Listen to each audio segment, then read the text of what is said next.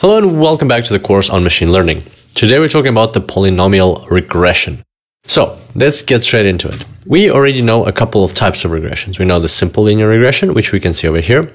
Then we've also discussed the multiple linear regression, which is written out over here. And finally, we've got the polynomial linear regression, which is written out here. So notice how it's very similar to the multiple linear regression, but at the same time, instead of the different variables like x2, x3, x4, and so on, xn, we have the same variable x1, but it is in different powers. So instead of x2, we have x1 squared. Instead of x3, we would have x1 cubed. And so instead of xn, we would have x1 to the power of n. So basically we're using one variable, but we're using the different powers of that variable. So let's have a look at when you'd use a polynomial regression, when it would come in handy. Let's say we've got a observation, a set of observations which look like this. Then the line that fits this data is obviously a simple linear regression. As you can see, it fits, fits it quite well. But let's for a change say that the data set looked something like this.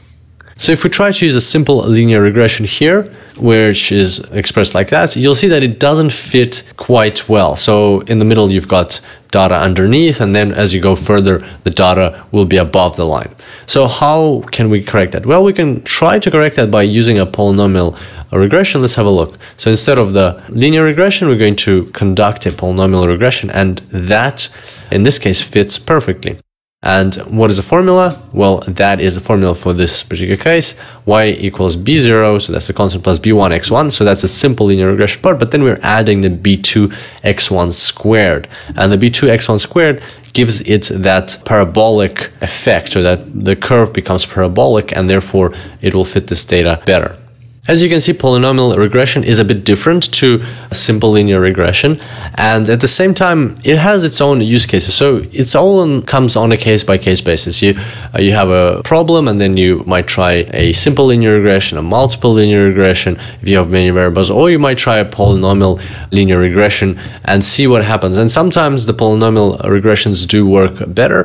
For example, they're used to describe how diseases spread or pandemics and epidemics spread across territory or across population, polynomial linear regressions can be handy there. And they also have other use cases. So it's a matter of what works best. So it's always good to have more tools in your arsenal. And we have one final question left.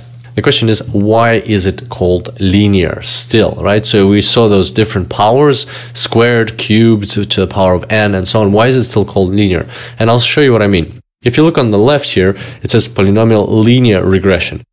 So why is it still called a linear regression if it's a polynomial uh, regression? Well, the trick here is that when we're talking about linear and nonlinear, we're not actually talking about the x variables, right? So even though they're nonlinear here, the relationship between y and x is nonlinear, when you're talking about the class of a regression, you're talking, so whether it's linear or nonlinear, you're talking about the coefficients here. So that's the interesting part. So whether or not this function, which we have here, so y is a function of x, right? And so the question is, can this function be expressed as a linear combination of these coefficients that because ultimately they are the unknowns right? So your goal when you're building a regression is to find these coefficients find out their actual values so that then further down the track you can use those coefficients to then plug in x and predict y, whether it's a linear, well, a, a simple linear, multiple uh, linear regression, or polynomial linear regression. That's your goal to find these b coefficients, and that's why linear nonlinear refers to the coefficients.